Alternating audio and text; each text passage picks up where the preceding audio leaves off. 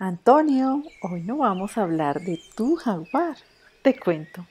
A lo largo del río Pirá Paraná en el Baupés, Colombia, habitan personas de diversos grupos étnicos que por milenios han protegido su entorno y que a pesar de que hablan diferentes lenguas, su sistema de sabiduría es el mismo hacer posible la vida de humanos y naturaleza. Así es, Antonio. Se trata del respeto consigo mismo y con todos los seres que habitan el territorio, el cual tiene órganos vitales denominados sitios sagrados, como los caños, las lagunas, ríos, lomas, piedras.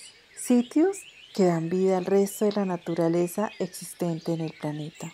Los conocimientos tradicionales de los chamanes jaguares de Yurupari desde el 2011 forman parte del patrimonio inmaterial de la humanidad UNESCO.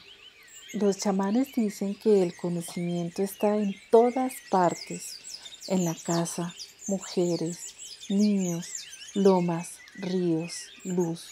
Todo está relacionado, todo está conectado. Cuidar la vida es su prioridad. ¿Cuál es la nuestra?